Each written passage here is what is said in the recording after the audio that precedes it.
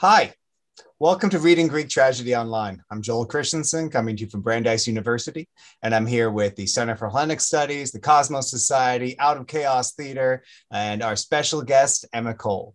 Today, we're bringing to you a uh, new version of the Bacchae, a musical um, that's been pre-recorded to get some special effects in there um, by Joanna, Johanna Warren and Jay Landon Marcus. Um, before then, though, we want to talk a little bit about the play, about why we're doing this again, and where we've been for the past four or five months or so. As some of you may remember, we started this pro- project way back in the beginning of the pandemic in March of 2020, trying to give each other space to talk about Greek tragedy, to reflect on our experiences um, in a world that's increasingly confusing and challenging.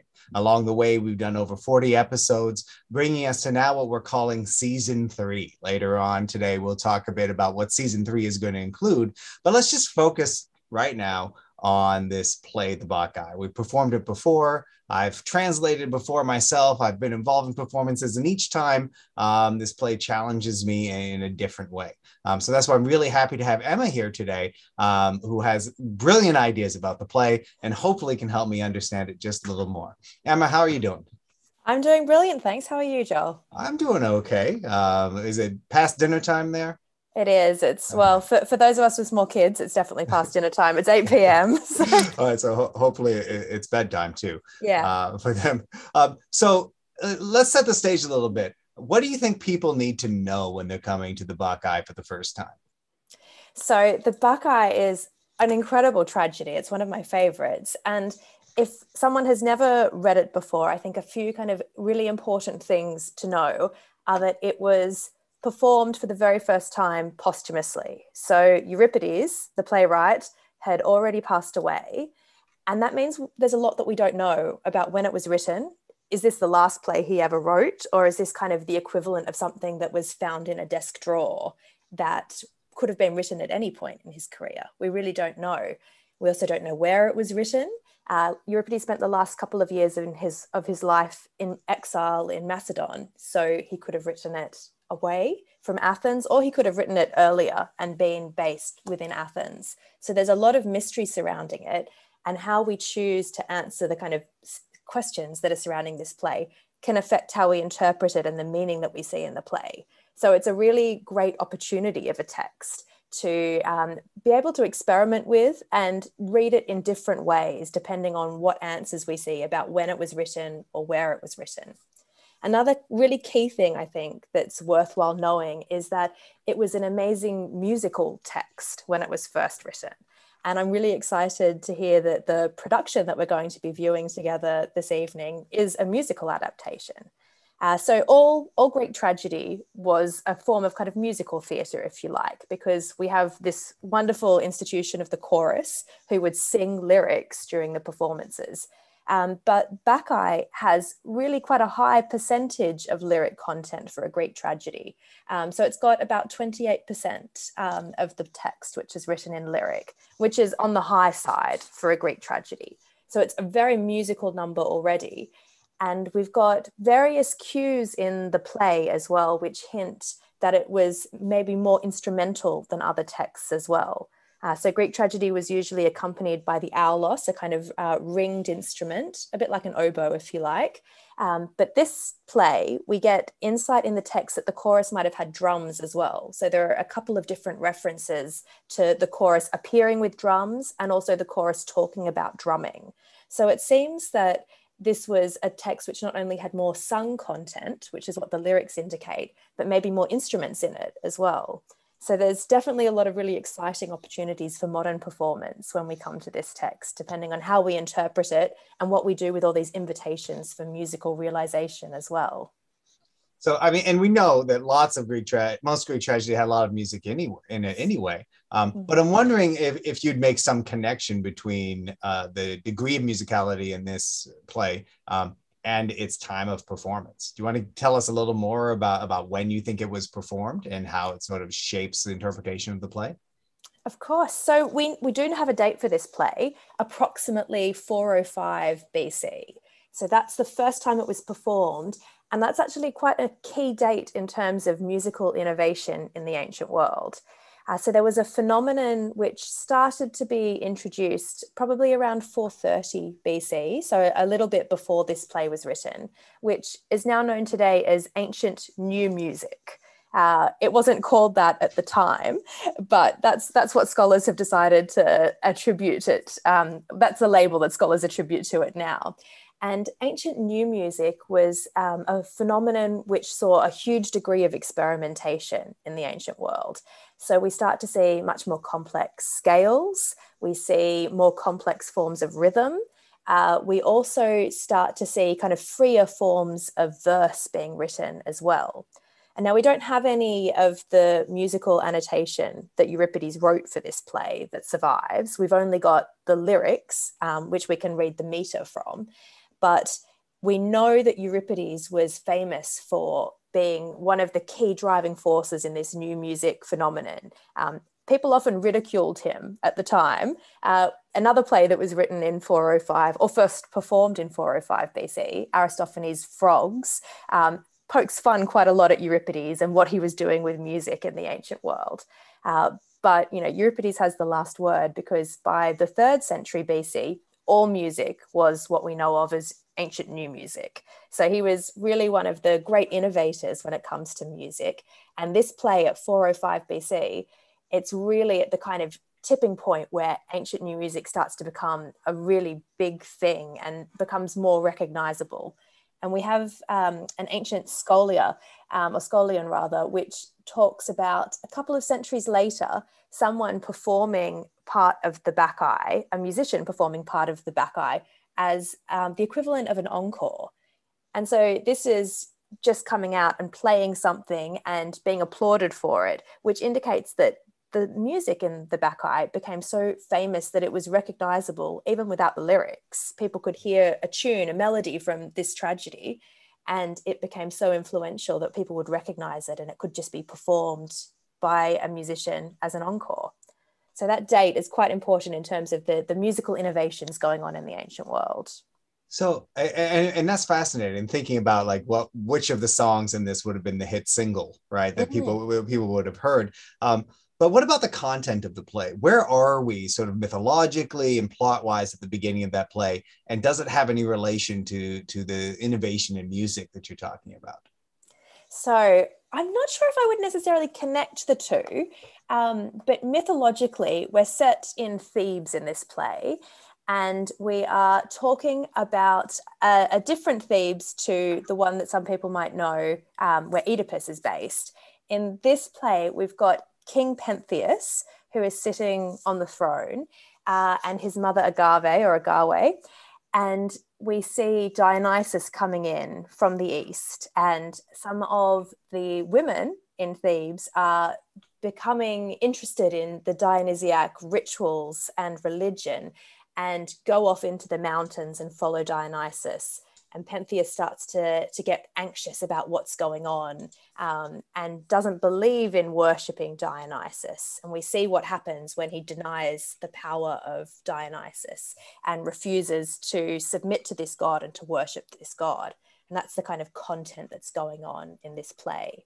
So it's set in the mythological past. Uh, we're seeing um, characters who uh, are much closer to the gods in terms of tracing their familial ancestry. Um, but we are engaging with rituals and forms of religion that were practiced in the time in which it was set. And I suppose to answer your question about the link between the content and the music, that's perhaps where we could see a connection because there was a, a, religious ritual every two years in the ancient world where Greek women would go to the mountains and would do this kind of ritual reenactment of, of the worshippers of Dionysus. And it's possible that maybe some of the, the songs that the chorus sing in the Bacchae maybe were linking to or echoing the hymns that might have been part of that religious ritual. So, although it's set in the mythological past, there could be musical connections with religious practice from the, the contemporary time in which it was first written in the fifth century. So, in thinking about the contemporary time, one of the things uh, that I usually bring to this is I, I think of the Bacchae as being rather late. Uh, as a Homerist, uh, my perspective is completely skewed. Um, but I always, you know, I think about the the environment in which he uh, Euripides composed it. So during the Peloponnesian War, um, and it coming near the end of a period. I don't know how how conscious ancient audiences were of their endings go, going on here. Aristophanes certainly was, but can you tell me something about what why you think that Euripides may have been attracted to this particular topic um, near the end of his career? There is a, a, lot of debate that goes on within scholarship about Euripides' attitude towards religion um, and whether whether he was an atheist or not. And some people do look at the Bacchae as maybe um, an answer to that question about how, how Euripides thought about religion, and maybe showing that he was starting to become a little bit more deferential to the gods through this play. Um, so you could possibly look at his his attitude towards the gods and his acceptance, um, or cautionary tale about denying the gods, perhaps we could say, in this play as as maybe linking towards that that contemporary context but then again i guess it it does raise the question of of exactly what year this play was written and if it was written right before 405 BC, then it is very closely, obviously, tied to exactly what was going on at the end of the Peloponnesian War and that timing. But if it was written earlier, perhaps it doesn't hold so true. Um, what we, what I guess we can say more more certainly in terms of of the context of the play is that within that that history of musical innovation rather than the politics of 5th century Athens within the history of musical innovation he was perhaps more liberated and more free at this later stage in his life and he was doing much more experimentation than he had ever done before. So we could maybe say that if he's writing this play at the end of his life maybe he's got a little bit more of a um, carefree attitude though i don't know if euripides was ever particularly deferential to um, no, no. dramatic um, precedents and whatnot but he's certainly got no holds barred in this play um, when it comes to methods of dramatic composition. Yeah. Um, and one of the things that i often I always leave out in these episodes is that these plays have d- several different types of context, right? They're part of a ritual context of the city Dionysia, um, but they also are part of tetralogies. There were other mm-hmm. plays that were performed um, that could have radically reshaped the way that they were received. Um, so for this play, in fact, I, I always ignore it. I just see the Bacchae as a standalone. Can you tell us a little more about the other plays that were positioned with it and how their contents may have shaped their reception? Absolutely. So, uh, as you said, there, were, there are tetralogies that were staged. So, we have four plays that each dramatist would enter into the city Dionysia, and they would enter them for a cash prize. So there's there's something riding on this. And Euripides infamously didn't do very well in this dramatic contest. So there would be three tragedians who would enter the plays each year, and Euripides um, didn't often win.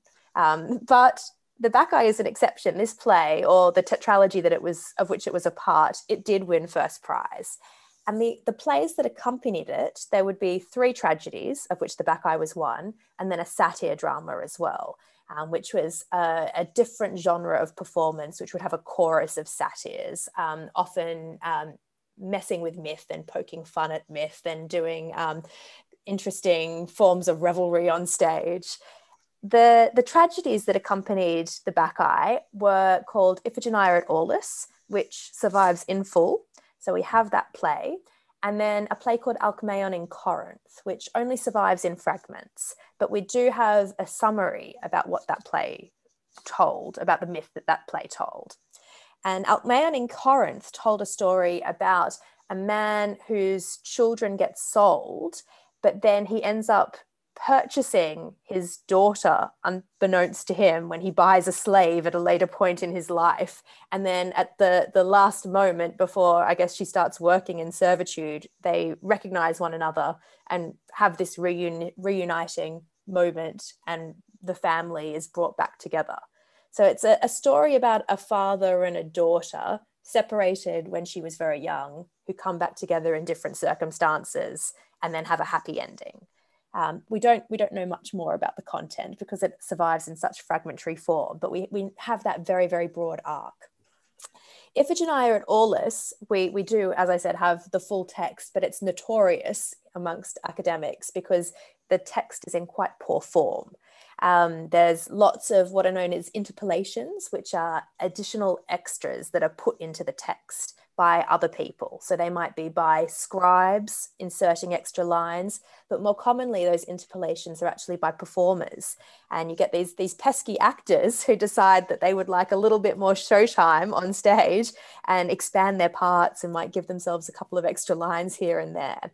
Um, and the fact that the play has so many extra lines, which are not written by Euripides, makes it quite controversial. Some people dislike it for that reason, but I personally love it because it shows this kind of live performance tradition at hand. Um, and Iphigenia at Aulis, we're on very firm mythological ground in that play. It's part of the Trojan War cycle. Uh, and it tells the very first part of the Trojan War cycle when the Greek army is setting sail to go to Troy um, to try and retrieve Helen, who's gone off to, to Troy with Paris. And what happens in this play is the Greek army set sail, but they get becalmed at a place called Aulis. And in order for the, the winds to come back, for them to be able to continue on their voyage and sail off to Troy, Agamemnon, the king, has to sacrifice his eldest daughter, Iphigenia. And the play's all about him grappling with this decision. You know, does he go through with it? Does he not go through with it? He brings her to Aulis on the pretense of marrying Achilles, um, no less. And then re- his plans revealed, and um, various things happen. And ultimately, she decides to go willingly to her death. So, like Bacchae, it's a play about a parent and a child. And I think it was Edith Hall who was the first person who, who posited that both Bacchae and Iphigenia at Aulis and likely Alcmaeon in Corinth are linked by this parent child relationship theme, where you have a father and a daughter in two plays, and then a mother and a son in Bacchae. And it's this relationship upon which a lot of the dramatic action really turns. And linked tragedies are actually linked trilogies of tragedies are actually quite rare. We've got the Oresteia is the most famous example, which tells um, the aftermath of the Trojan War saga, actually, when Agamemnon gets home and what happens. And this one is not linked by plot, this trilogy, but it seems that it is linked thematically. And that um, can maybe help us direct our attention when we, we listen to Bacchae or we watch a performance. If we think about how originally it might have been staged in this trilogy, which has this focus on parent child relationships. It can kind of direct our energies a little. I, I mean, you've blown my mind just a little bit because I either never knew or completely forgot that Iphigenia Aulis was paired with the Bacchae, and that makes both plays even more challenging and messed up um, than I had imagined before. Um, so you, you just mentioned about uh, the staging of the plays, right? So, mm. you know, in an ancient performance, we may even get more interesting intratextuality between the plays um, by casting some of the same actors, by having you know, some of the same performers involved. Um, before we get to this performance, tell me a little bit about what you imagine ancient uh, performances of this play were like. Ah, wonderful question. So, I mean, I guess the, the, truthful answer is that we, we do have to use a lot of dramatic license to imagine what it would have looked like. But we know that, as you said, we would have had a small cast playing the, the main characters. They would have been doubling and they would have been masked. We've then got a larger chorus of between 12 and 15. Uh, and the chorus would probably be on stage for, for an awful lot of the dramatic action. They'd also be masked. What we have in the Bacchae is some really interesting um, inklings as to the other things that have, might have been going on in this play. Um, there are some significant props in this play, um, which show that it must have been quite a, a spectacle to watch. And we also have invitations for kind of oral acoustic um, ingredients for this play as well. So I think there's a tendency for people who who imagine Greek tragedy for the first time, to think of it as very staid and quite boring almost. You've got these people in masks having to maybe speak very slowly because they're in this huge amphitheater, needing to throw their voices out really loud so they can be heard. But there must have been quite a lot going on in, in the Bacchae in particular. Not that I would say that any of the plays are boring, of course, but in the Bacchae, you've got these miraculous descriptions of um, Pentheus appearing to see two suns, for example, when Dionysus takes him up the mountain to view the Maenads. Um, we've got an earthquake happening when Pentheus captures Dionysus and tries to imprison him. And in order for Dionysus to get out, there's an earthquake. And it's, it's described, we get in the text um, inklings as to the sounds of this earthquake. And both of these ideas, kind of, or these moments, invite us or invite a, a, director really to kind of stage this in an innovative way. We don't know if there were sound effects, if there were scene paintings which might have shown two suns, for example. But it's possible. There are dramaturgical invitations for, for these things to be staged. And I mentioned before the props. So we have before the the parodos, part of the the chorus, a choral ode. Before that starts, we have um, a mention of the women having drums, and then when the drum the women do appear, they mention the drums twice. So we assume that that there were drums, it seems odd for there to be three references to the women drumming and then the women to not have any drums. Um, that doesn't make so much sense to me. So apparently we've got quite a musical chorus on stage, maybe with drums. Uh, we've also got descriptions of these bacchantes or these maenads as um, holding a, a, kind of type of wand, which is wreathed in ivy and wearing fawn skins as well. So quite a quite a striking costume that the chorus would be in. And then at the, the finale of this play, we have uh, a scene which is known as a sparagmos scene, a tearing apart, a ritual disembodiment. And it, I, I perhaps shouldn't shouldn't mention exactly what happens before we watch watch the performance, in case I'm giving it away to anyone. But there is a really miraculous thing that happens, or miraculous is the wrong word, isn't it? Disturbing thing that happens during this tearing apart. And Agave, the mother, um, emerges from this scene holding a, a really horrific prop in her hands and this would have been shown to the audience. So it's a play which i think visually and acoustically would have been really very rich and it takes us far beyond the idea of simply a group of actors in masks standing forward facing an audience and reciting their lines. It would have been a, a rich and wonderful performance. Um, and you know building off that and so your your visual painting of it is wonderful right? It's always hard to imagine these things but when you move from that from your idea of sort of the, the possible reconstruction of the past and go to modern performance what are some of the things that you look for in a modern performance? What do you get excited about? What are themes you want to see hit? Um, or what are really the moments that that you're most eager to to witness I um, am possibly going to give a, a, dissatisfying answer to any uh, dramatists out there watching who want hints as to what to do, because my answer really is that I want to be surprised when I see a Bacchae production. Um, and if I think back to, or um, imagine back to 405 BC, what the ancient audience saw when they saw the premiere, I think that anyone watching this performance would have been surprised. Uh, I don't believe that we have any definitive evidence which points to exactly what happens to Pentheus in this tragedy happening in any of the, the prior retellings of his family tree that happened um, in other dramatists or other poets' work. Um, just because we don't have surviving sources, though, doesn't mean that there weren't any, of course. There could be lost versions which told that story. Um, but to my mind, or from my my knowledge, this is the play, the only play which tells this version of the plot. Um, it's the first version that this particular plot has been told. So it's innovative in terms of the story.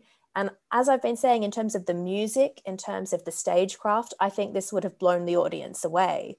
And perhaps that's one of the reasons why it won first prize. And so for me, if I'm thinking about what I want to see from a Bacchae. I want to be surprised. I want to have a, a director or a costume designer surprise me rather than mm. simply stage the play um, making sure every line is is delivered properly um, and heard audibly and things like that um, I, I, do always like to, to see some spectacular moment during that sparagmos scene.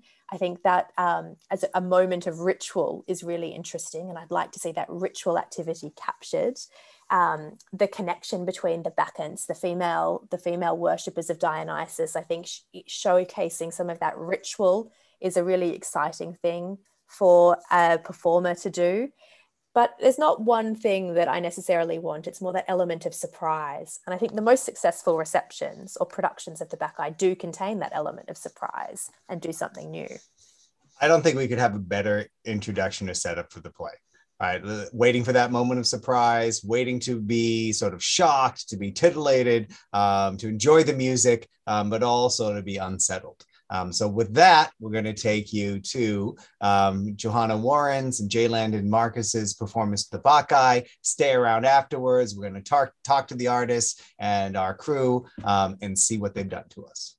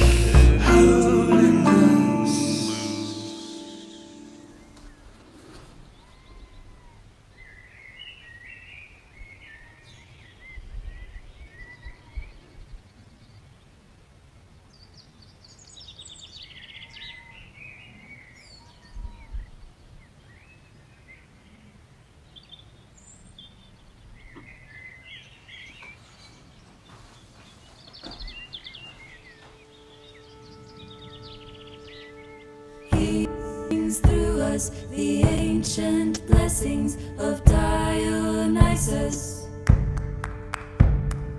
Blessed and blessed again are them who consecrate, who concentrate.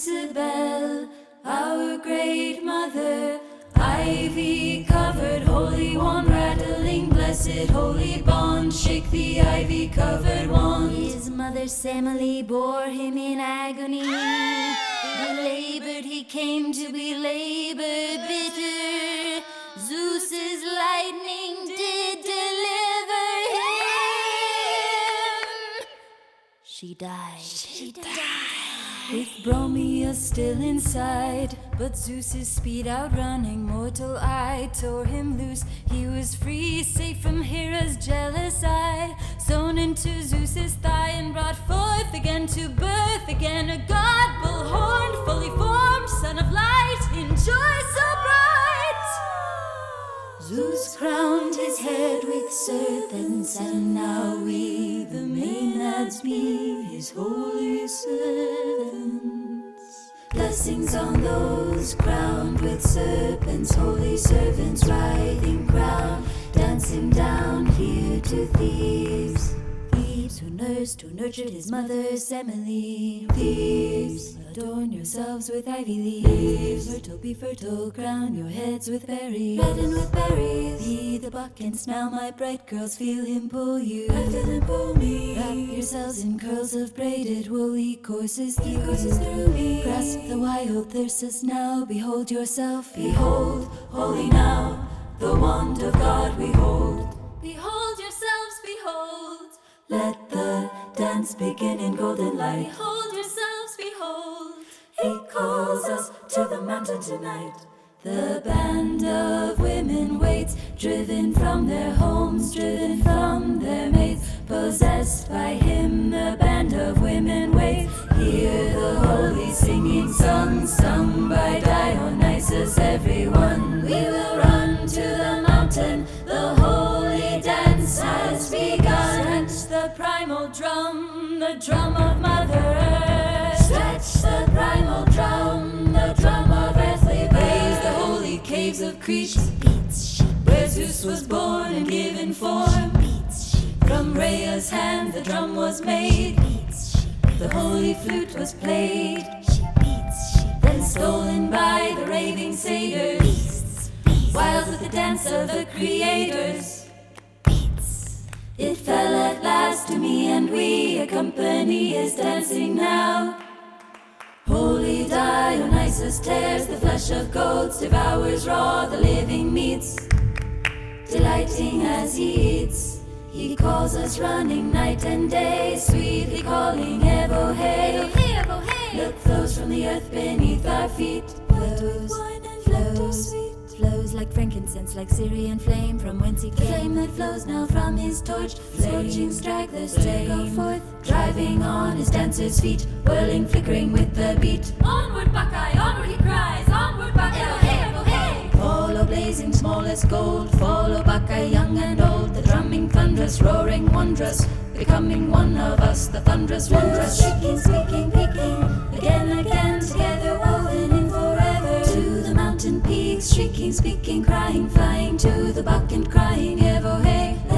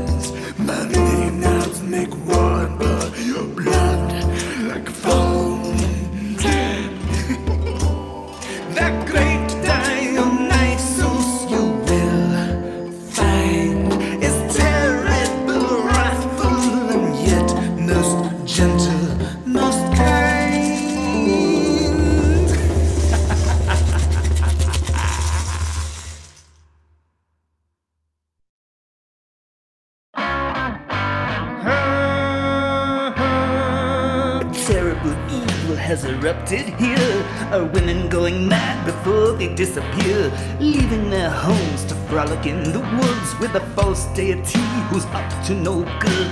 Drinking and dancing is worship they claim for their god Dionysus. I curse his name. You call yourselves priestesses, maenads, I think. Sworn unto Bacchus and his intoxicating drink. Yeah! You think he is a god, the blessed son of Zeus. It's no secret that his mother was loose. Just the son of the whore, and you're all his sluts. With his evil in your mind, his poison in your guts. Aphrodite is the one you serve. Now your god will get what he deserves. I'll sever forever your sordid sororities, obliterate your orgies. The enemy of obscenity, the enemy that's me. The enemy obscenity, the enemy that's me. I'll track down the rest who are still on the hill. Even my mother, I'll get her I will. The twirling wand, the flowing hair. He can't shake his head when his head isn't there. You vulgar hearts will forever remain in the depths of my dungeon, locked and chained. Dionysus will answer to me. Bring him, let obscenity. The enemy, that's me. The enemy of obscenity. The enemy, that's me. By the order of Apollo, the charges are as follows carousing, arousing, indecent erotic espousing, libidinous, lascivious, perverted, promiscuous mistresses. I'll slay him with you as my witnesses, my business is to be.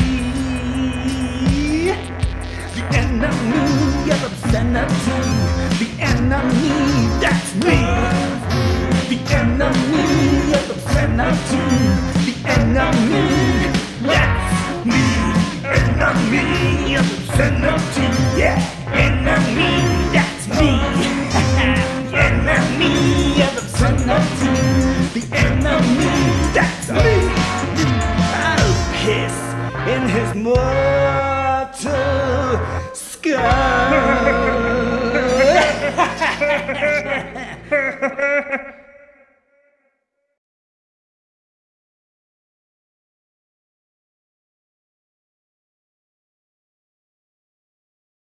Now run to the mountains, hounds of madness, run to the revels of the daughters of Cadmus, sting them, bring them the king in disguise. The spy will catch his mother's eye, the spy, but she won't recognize. Run to the mountains, hounds of madness, run to the revels of the daughters of Cadmus, sting them, bring them the king in disguise. Run to the mountains, hounds of madness, run to the revels of the daughters of Cadmus, sting them,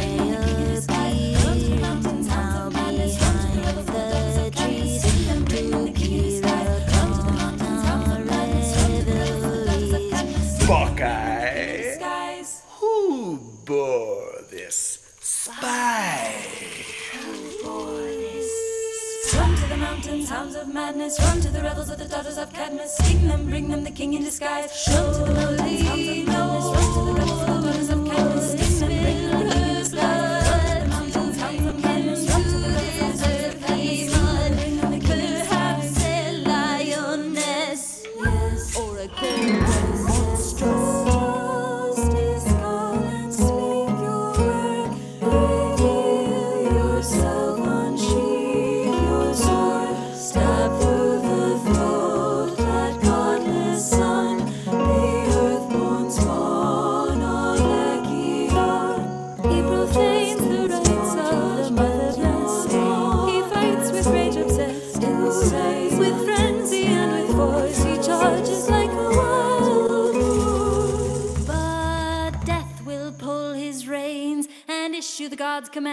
For death is the bit in the mouth of man. Death is the hand that shakes us, breaks us. Death is the light that wakes us, makes us understand our mortal limits. Savor the hours and the minutes. Death is the hand that shakes us.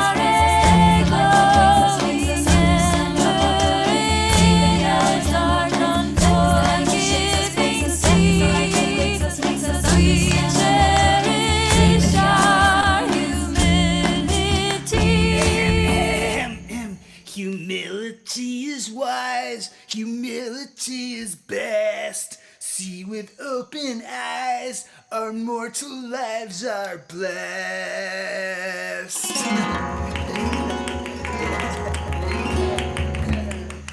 Justice, come and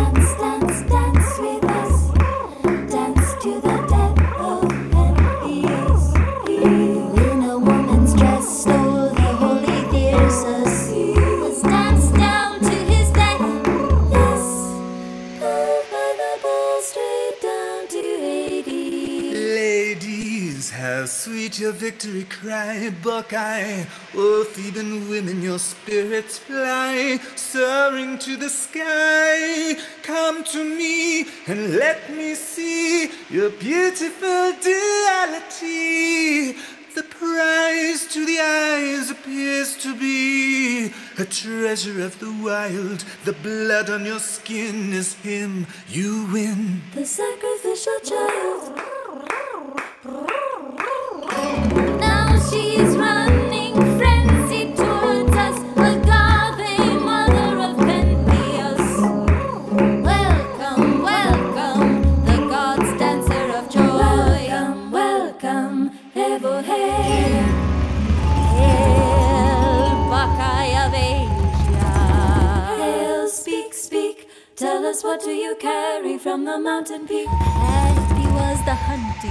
Yes, happy was the hunting. We've killed a beast, wild and grunting. See that what you say is true.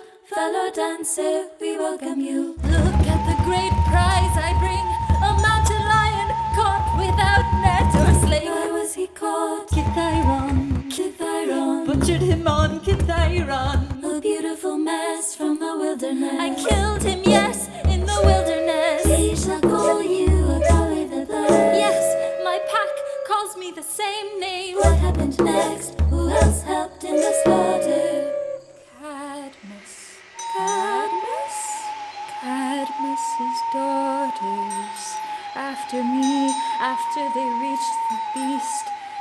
Happy was the hunt. All will share in the feast. The Feast.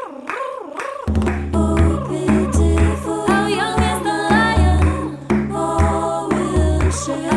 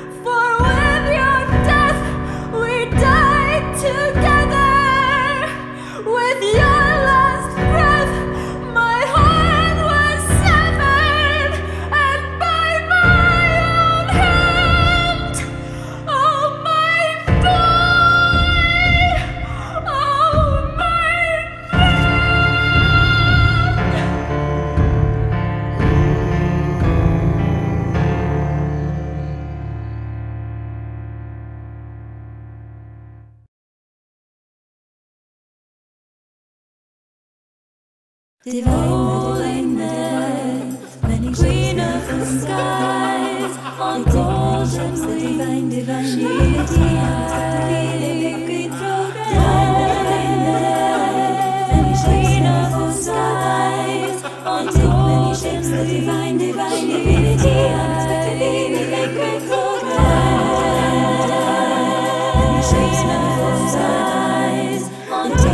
shapes, the divine, divine divinity, unexpectedly they make great progress.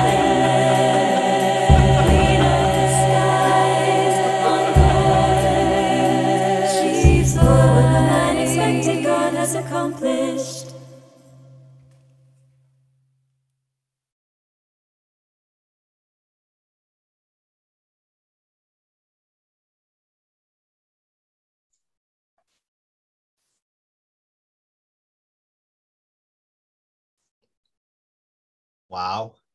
Um, I, I, I'm at a loss for words. Emma, maybe maybe you can help me out a little bit because I'm I'm just trying to figure out how I can sum up and and do anything or say anything right now, um, really uh, to match what I just watched. I mean, it was just incredible, wasn't it? I feel like it's um, almost un- impossible to articulate, but isn't it just incredible what we were talking about at the start? How you could almost check off everything that we discussed in terms of what we might hope to see. But- It And, was, and, all, and it was all there. and just so people know, we didn't actually have any idea what was going to happen. We had a scene list um, beforehand, but we hadn't seen this, right? And we knew it was going to be partially shot. I think it was in a, a wood in Wales and partially shot in the States, I think. From memory, Paul can correct us at the end. Yeah, but yeah, yeah, I, I we'll ask when when when Johanna and Jay come in. Um, we can talk about we can talk about it. Um, but but so first responses. Um, what what what what do you want? What do you want to talk about? What, what's jumping out in your mind? I mean, the form, I think we, we have to start with the form. It is so rare to see tragedy performed as a musical. We see comedy performed as musicals. Um, various there's been various um, versions of, of Aristophanes, um, Plautus as well, being performed as a musical. We see Greek tragedy sometimes performed as an opera, but not really a, as a musical. And I said just before the start of this broadcast that the thing that I like to see with a Bacchae is something that surprises me, something that does something different. And the the idea of doing the Bacchae as a musical, I guess it was kind of almost like a rock opera, wasn't it? But that that I think was so impressive, so bold, and so unexpected. And Yeah. I think, you know, w- a wonderful congratulations to the director and the, the cast because it was just so impressive and so unique. And that should have been probably the first words of my mouth. Shouldn't be, shouldn't have been wow, but thank you.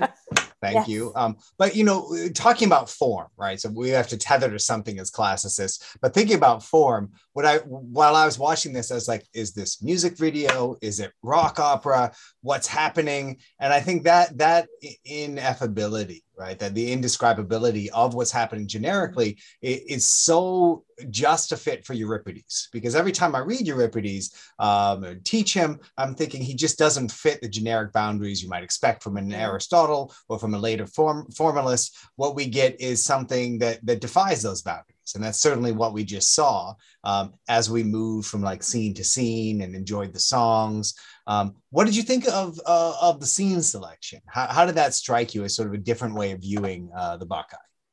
I loved that it was so narrowed in on those really key moments and key moments, not just in terms of the narrative arc, but actually in terms of the connections between the characters. So I mentioned that I, I really like to see the connection between the females, the, the maenads who are coming together to worship Dionysus. And we got those moments, um, which are not really about plot so much. They're, they're about creating a dynamic between a chorus of women. But then we got those really key moments of plot. The Agave, when she's got the head of her son and doesn't actually know that it's her son, she thinks she Mm. slaughtered this beast. And then when she realizes exactly who it is and what she's done, we saw those two scenes. And we also had a really nice selection where we had a cross section of choral sections where we, we had the, the women coming together. And then we had the sections which were still sung in this production, but they were protagonists. And that's actually quite in keeping with the structure of a Greek tragedy, the kind of movement between chorus and then a duologue or um, just a couple of characters, sometimes sometimes conversing in lyrics, sometimes in prose in tragedy. But it's that that movement between the collective and the individual or the duologue, which was actually echoed here. So I think we've got a real kind of lovely selection, which is true to the dynamic of tragedy on the one hand, but then also does something interesting in terms of how it tells the story.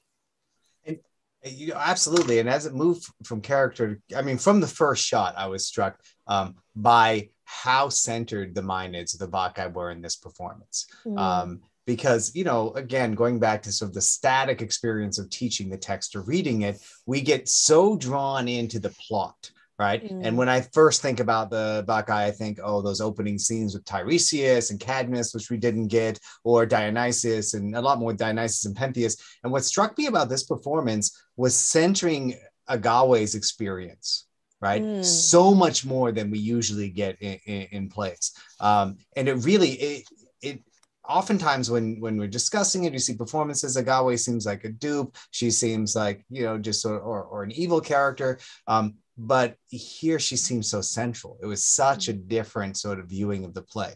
Um, did that surprise you or, or were you drawn to other elements of it? That did surprise me and definitely drew me in and it was so refreshing wasn't it to see see the female experience put center stage in this Mhm. production because you're exactly right you do get caught up when when you're teaching the play in the particularly that scene between dionysus and pentheus um, Mm. where you get dionysus trying to kind of reel Pentheus in, and you get this this famous moment of cross dressing where where Dionysus convinces Pentheus to dress up as a bacchant, as a as a maenad, and go into the forest to spy on the women, and that's a really exciting moment to teach and to read. But actually, the play is called the Bacchae. It's about the, the female worshippers. That's what the title is that we, we know the play as today.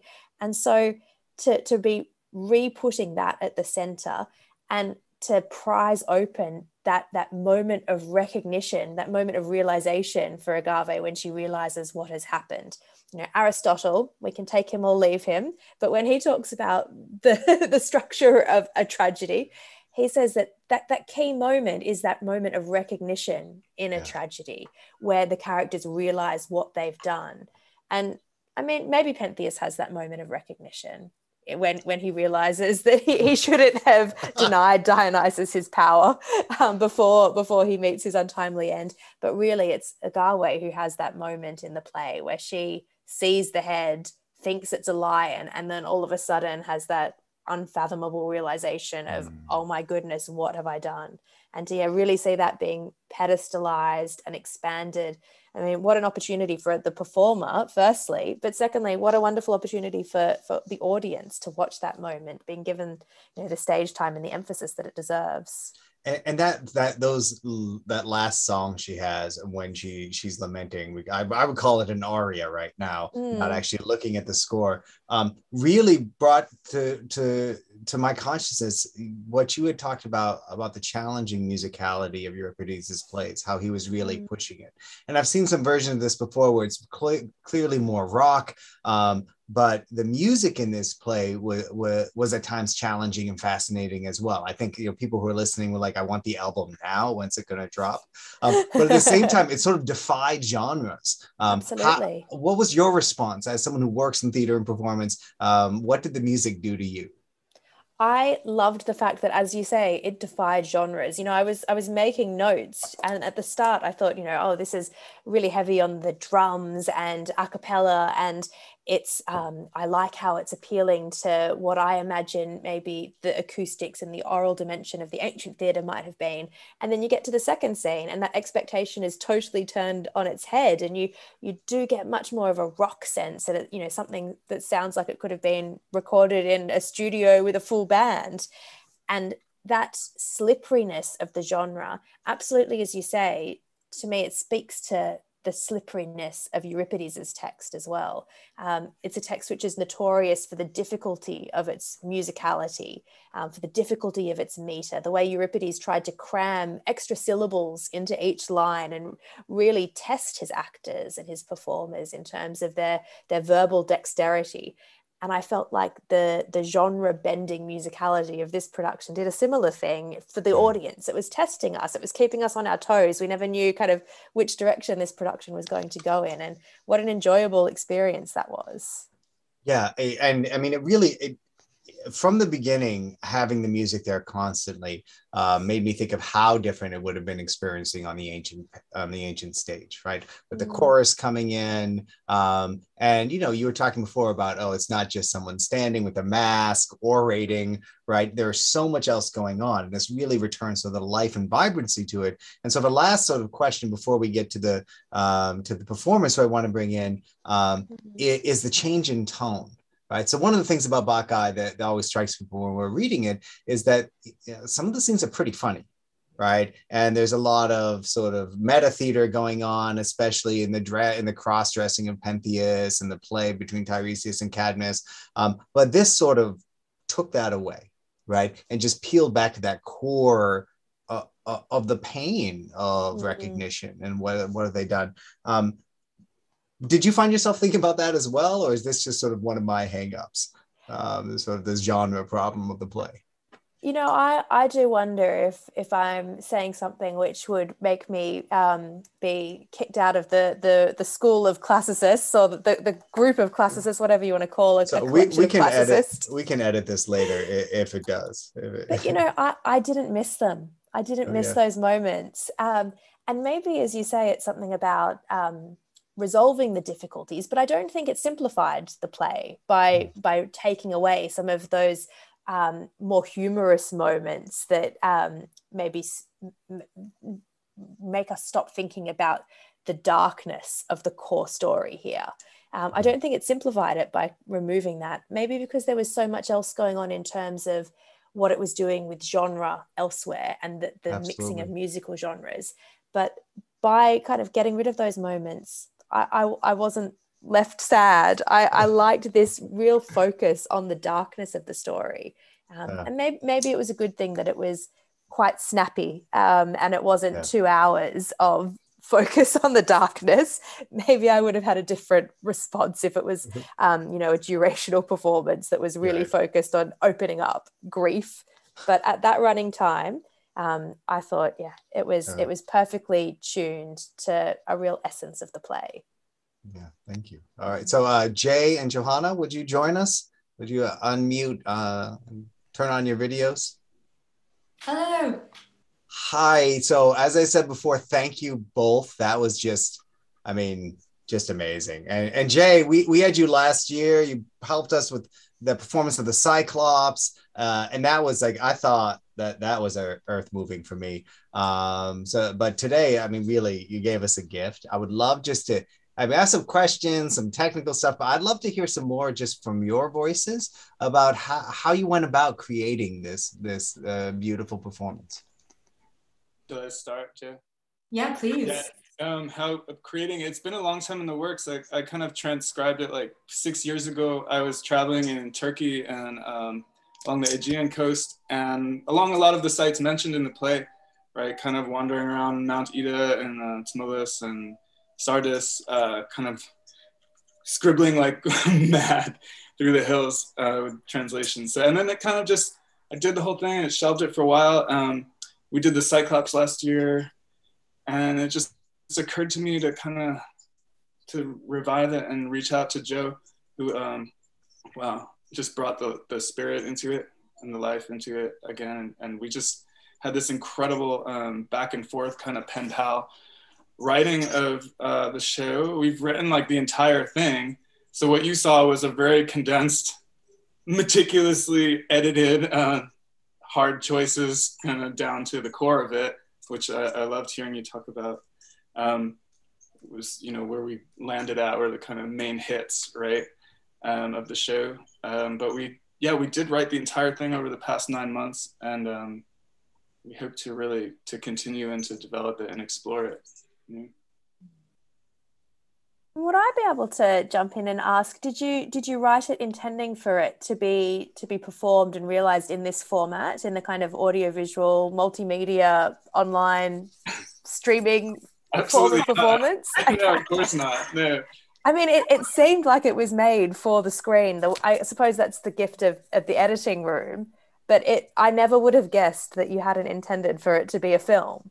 No, I envisioned it as a live performance. You know, in a amphitheater. I think I was in the Asclepion, right, and just imagining it uh, in, you know, in the flesh, right, as it was originally done. Um, and that's why the, with the translation, I say translation, but I really wanted to put it back into a lyrical meter that could be then, uh, you know, used to bring the, the music back into the show. So uh, lyrically, yeah. Would you talk a little bit more about uh, the translation process and the way you guys went around making the, of the lyrics and the music and putting it all together?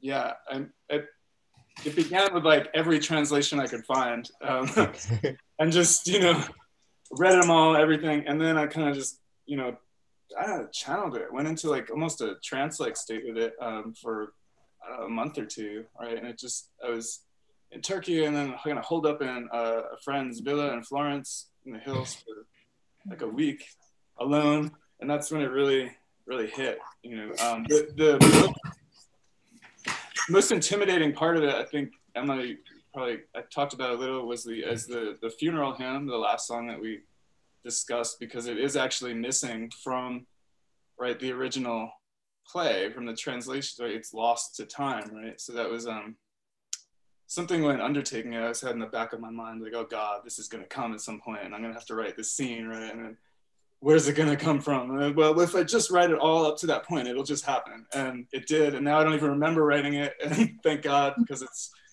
harrowing. And Joe fucking ripped it apart um, so beautifully and tragically. I forgot what your question was, Joel. No, it's just the process of like putting putting it together, the music, and so you said you guys collaborated. Yeah, um, so, yeah. Joe, what was that like? Like you came into this process, you didn't do the the, the literal field work that Jay did, um, but but what what perspective did you bring um, to this? I did do perhaps even more literal field work in I was writing the music, or also kind of had a very channeling like experience walking around the hills of Wales, where I ended up relocating at the beginning of the pandemic last year. And Wales is known as the land of song. And you really feel this presence, like walking around through the trees and the little waterfalls, and you just feel this presence of fairy energy or something that just lives in the land. And so Jay had contacted me about collaborating on writing the music for this amazing text that he had written. And um, so it was a very new way of working for me, working with because I'm I'm a singer songwriter in my own professional field, but then to work with someone else's text and just put it to music was a really new thing for me, but it felt so kind of ridiculously effortless. I would just walk my dogs on the hills with a printed out page of lyrics, and it really felt like the music was being gifted from the land. And that's very close to the essence that we want to infuse the production with this like nature worship and this very intuitive feminine um, experience of the divine and creation. So yeah really tried to just make it a, a ritual Well, and I think several people who are watching on YouTube uh, as we're talking about this noted sort of the the powerful impact of the natural world on on the video that you put together. Um, so, can you talk a little bit about what the filming process was like and the other actors you worked in? Because this is, I mean, we've had some films and video on on this series before, um, but this is pretty high quality stuff. Um, and it looks like it was an intense process. So, how do you go from all right, I'm going to make Bacchae into a play to we're going to go do a rock opera music video in the hills of Wales and just see what happens? Like, how, how did that come about?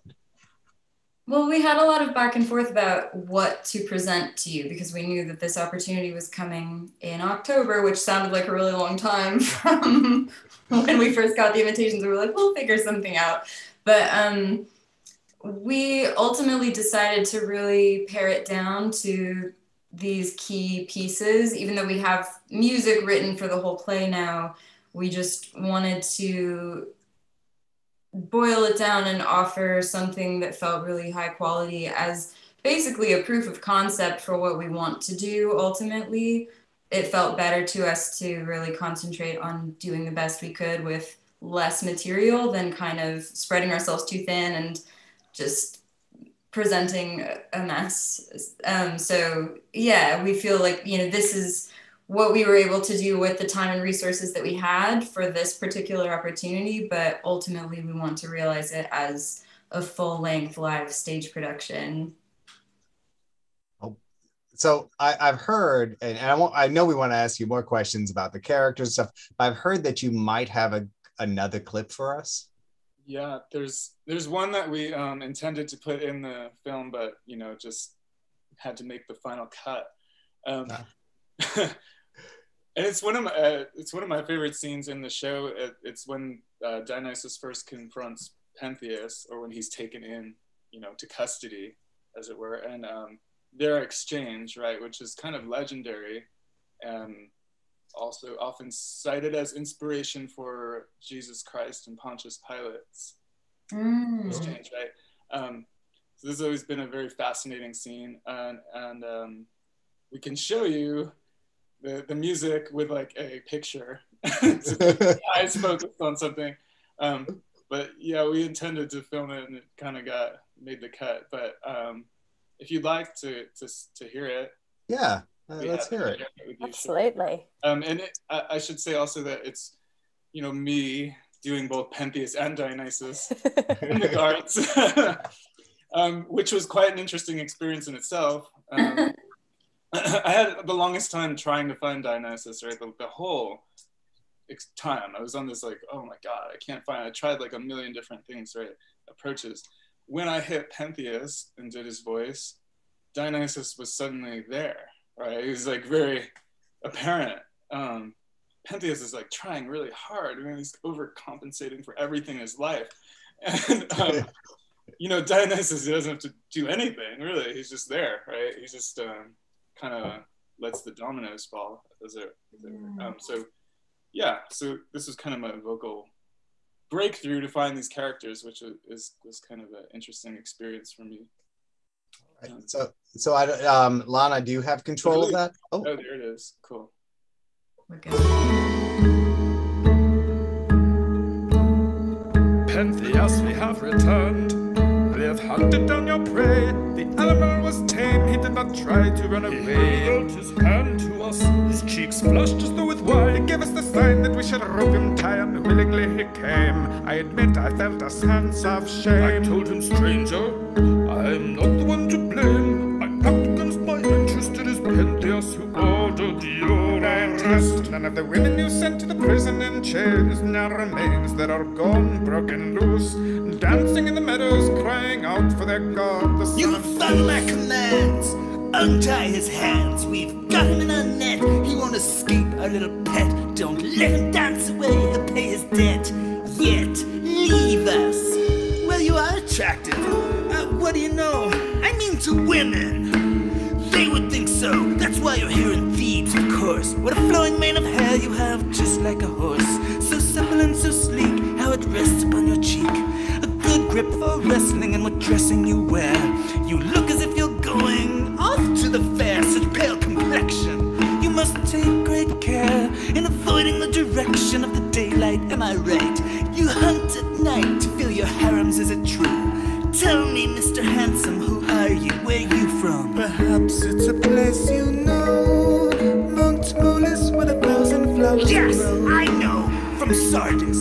rises high up in the air. My country's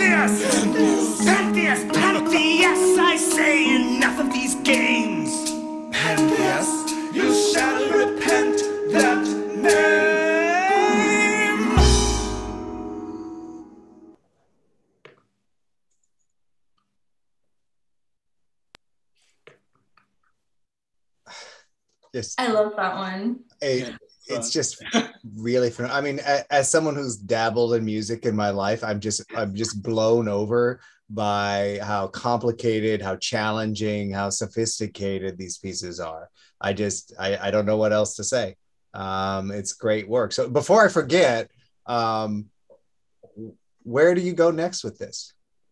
Right, so, so what's the plan? If somebody stumbles on this video, um, how do we make this happen?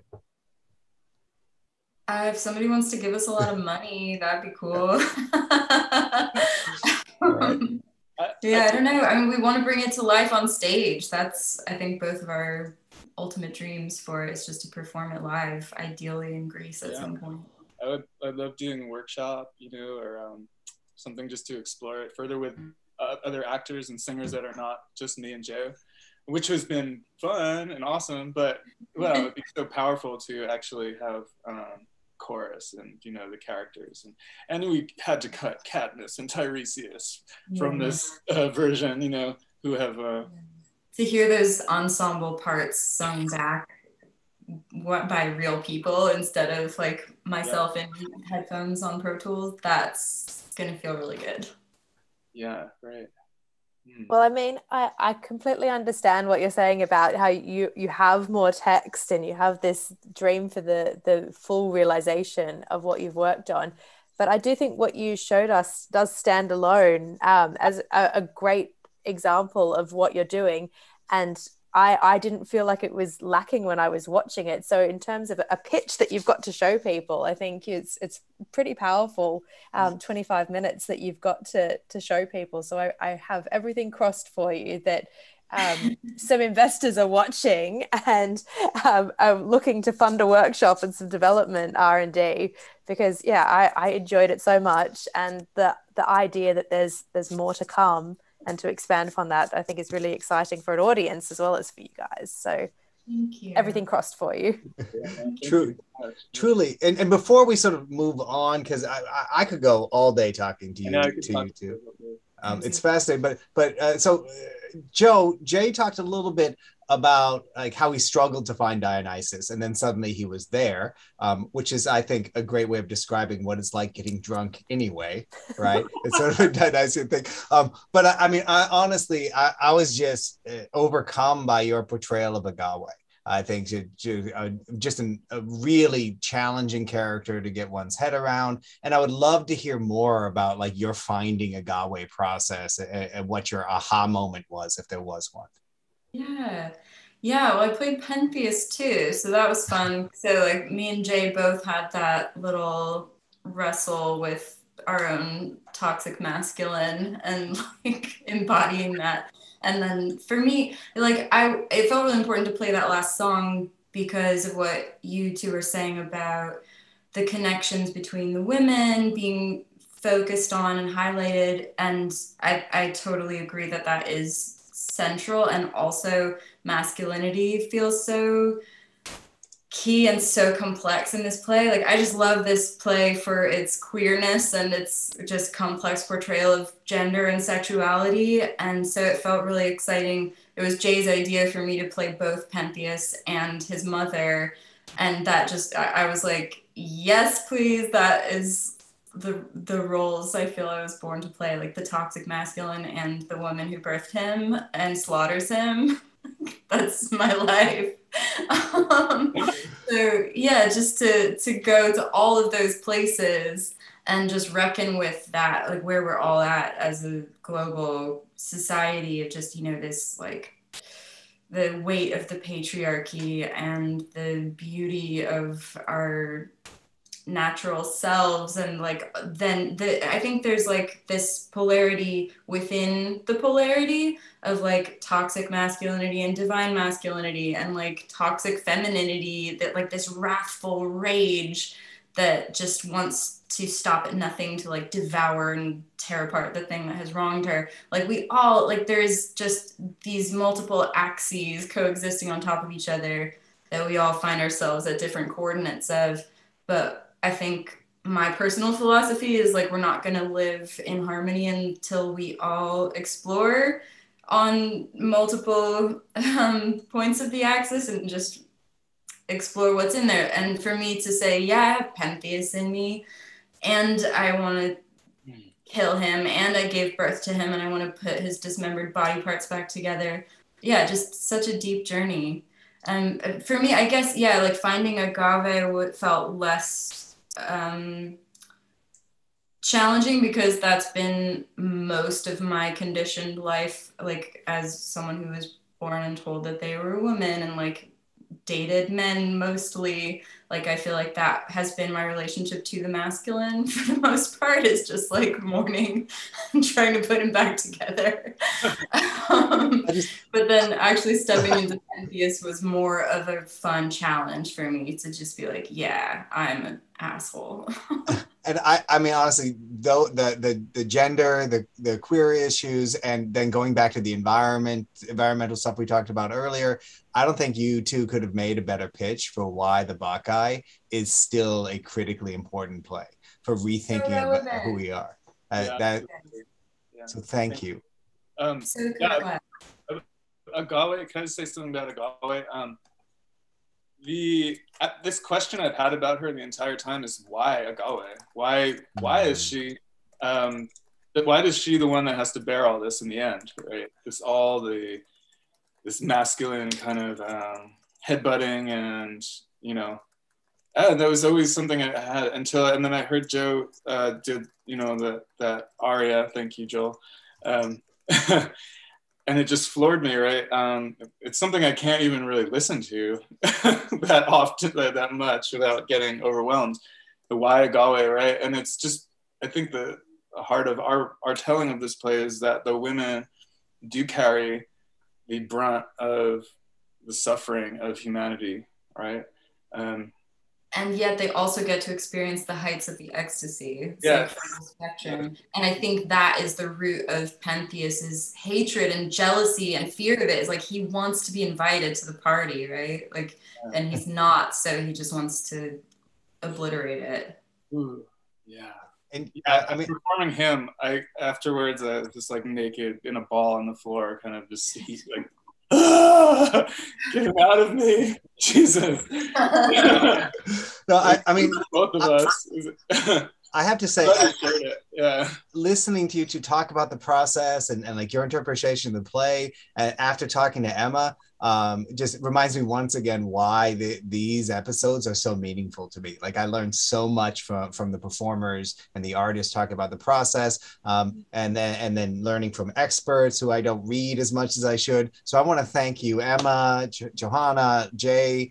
Thank you so much for this and i hope i get to watch more of it soon. Um, and paul is here with us um, to tell us what we're going to be doing for the rest of i guess the semester the rest of the year um, to keep blowing my mind um, and everybody else's paul hello, Joel. Hello, everyone. And um, yeah, I just first of all want to add a huge thanks to, to Joe and to Jay for this amazing, amazing performance. And it feels kind of really exciting from a series point of view because this is some, this series started just kind of in response to obviously the pandemic, and we were all stuck at home, and we were all just kind of reading a couple of scenes and and then talking about it. Um, and that was really fulfilling in itself. But the fact that it's now able to kind of grow and to host something like this um, and to be hopefully a really helpful stepping stone um, for this sort of amazing project is absolutely brilliant. And um, I, I met Jay through this project because we, um, when we um, uh, staged his Cyclops um, back in December last year. Uh, and that connection was made through the CHS, through Lana, knowing Chaz, um, who also created the Cyclops um, with him. So, yeah, it's just a really kind of lovely point for this series to reach that we're able to expand into this kind of different um, way of performing we have a, a, number of episodes coming up now. So we've been quiet. I think the last one we had done before this was in May. Is that right, Joel? Um, and um, so it's been a, a, long wait, but we're now back with what I think is an absolutely amazing lineup. Obviously, starting um, with this, um, and I can't um, always promise there being uh, always that much music, that much great editing and uh, work put in. Um, but I can guarantee that there'll be some brilliant episodes in three weeks' time on November the 3rd, will be um, doing a very special performance based around book one of the Iliad, um, and that will be um, uh, partly in, in uh, ancient Greek, partly in modern Greek, and partly in English, um, and will be taking place in um, a few different countries, and uh, very excited about that. Uh, and then we have on November 17th um, an episode called Goddesses and Goddesses and the Women of Gods, which is being conceived by Leonette um, Noble. Uh, and then Chaz Libretto's play based on fragments um, then takes us into December. On December 1st, we'll be performing that. And we end this mini um, season on December 15th with what we're calling an ancient cabaret, um, which is going to be a collection of songs, scenes, adaptations, work that's been inspired by um, tragedy, other ancient literature, um, both sort of um, new responses, old responses, and, uh, and everything in between. And I think um, it's going to be a really brilliant season all the way across. Um, uh, just a, a, few other things to mention. one of the other aspects of this kind of series and the way it's brought together kind of a, a great community at a time when it's been pretty difficult to have a sense of community um, is um, that we, have managed to do quite a, quite a lot of outreach work inspired by what we've been doing online. Uh, last year, we launched a competition called uh, Playing Medea, uh, which started off in the US and Canada, and then we also ended up um, having the competition in the UK, um, in Greece, and in Italy. And in total, we had more than 800 students directly involved, creating more than 100 videos of scenes of Medea, which they submitted. And you can see some of the Greek videos actually that were submitted um, on the CHS uh, YouTube page. It's one of their playlists. And absolutely phenomenal work that the students of all ages um, put in. We will be soon launching um, another competition in a similar vein. Um, uh, and the US um, and Canada um, version of that is going to be called um, Playing Dionysus and is going to be inspired by um, the Bacchae. And I'm sure a lot of people will be inspired um, this evening from what they've seen. There'll be more news coming about that and also about versions that we of this competition and using other scripts as well that we will hope to be announcing for other countries um, in the coming weeks. Um, and um, furthermore, um, the um, we have a, a, fundraiser that we are currently um, operating at the moment, which is to support some work that we're doing. So we're we're creating shorter videos that are exploring scenes from tragedy in in multiple ways um, to kind of show um, showcase to students sort of all the different interpretations that are available when looking at tragedy um, and also kind of drawing on some of the amazing expert analysis from the people who have been joining us during this season. So you can um, have a look um, at that fundraiser. The link is in the video description um, below this video. And we launched a prototype with um, thanks to the help of the um, APGRD, um, and also uh, we were supported by Torch for that. We've received some support from the SCS and already had some really fantastic support from people who have been watching this series over the last year or so. So a huge thank you for that. And we're looking forward to um, filming um, a couple of more of those masterclasses um, in the coming uh, weeks. Um, and we'll also be um, uh, soon uh, launching a podcast. And um, eventually, we hope to be doing some um, in person workshops when that sort of thing becomes possible. Um, and uh, and finally, just to add that something that's been um, kind of, I suppose, inspired by um, this series as well is um, I've been working with the British American Drama Academy, and there is a, a, a new Greek theatre program that is um, open to um, for applications now. It's an amazing program which has um, two weeks uh, based in in London, um, working with practitioners from places like the RSC and the Globe, and also um, with academics exploring tragedy, and then nine days in Greece, um, kind of sort of then seeing things in situ, and then finally six days in Oxford, where we'll, we'll be based at the APGRD. Um, so do um, have a look out for that. I will put the link for that into the YouTube chat. Um, but yeah, just to finish up all my announcements by saying again, a big thank you to everyone. Um, and it's really lovely to be back uh, once again with this. Thanks, Paul. Uh, you bring new meaning to the word hustle um, all the stuff that, that you're setting out. I know we're going to end up working on in part together. So it's exciting to be around you, uh, infectious, but in the good way in the pandemic.